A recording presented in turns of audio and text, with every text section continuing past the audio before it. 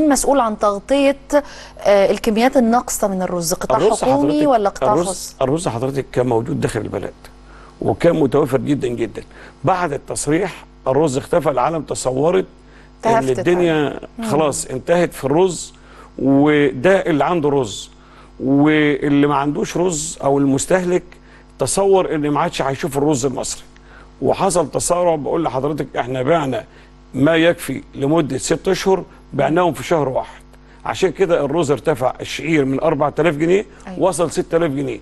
وقلنا للناس كتير الرز موجود والرز هيتخفض ولذلك بعد ما الناس شبعت رز وكله انبسط حضرتك الرز نزل تاني ل 4500 و 4600 جنيه. هيتكرر نفس القصة السنة دي. هتتكرر لا رجع الناس هتتصور إن مفيش رز والناس هتتصور إن الدنيا ما عندناش رز. إحنا عندنا رز يكفينا لأكتوبر 2019 نفس ال- اللي حصل السنة اللي فاتت مش عاوزينه يتكرر.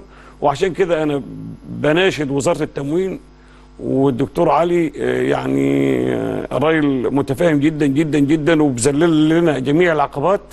آه، بقول له يا دكتور سرع لنا باستيراد كمية مخزون استراتيجي وليكن المليون طن اللي اتفقتوا عليه. ولو ما وفقتوش في رز في دول العالم كتير جدا. جميع دول شرق آسيا بتتمنى إن إحنا بتعرض علينا اسعار بتعرض علينا رز. في رز من إيه، فيتنام؟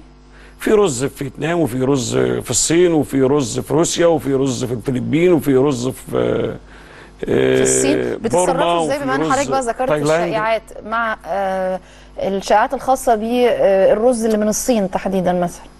يعني ده يعني حضرتك بتقولي إنها واحدة من الدول أقرب رز أقرب رز. للأرز المصري العريض الحبة اللي إحنا كلنا بنحبه هو رز الصين